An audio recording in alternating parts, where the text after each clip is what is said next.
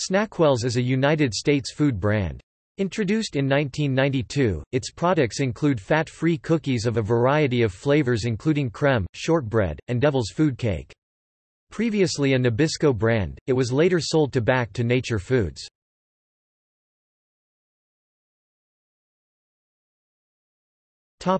History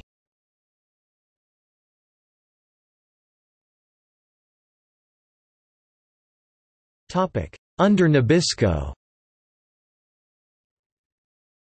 Snackwell's products were marketed as fat-free and thus healthier snacks, as the U.S. dietary guidelines of the early 1990s advocated a reduction in the consumption of fats.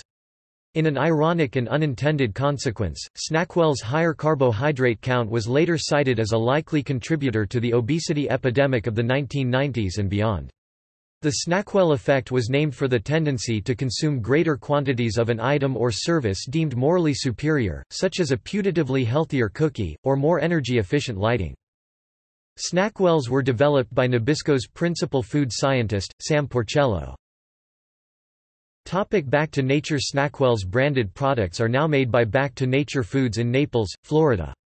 In Canada, Snackwell's potato chips and crackers are available. In August 2017, it was reported that B&G Foods Inc. had agreed to buy Snackwell's cookies and Back to Nature granola for $162.5 million.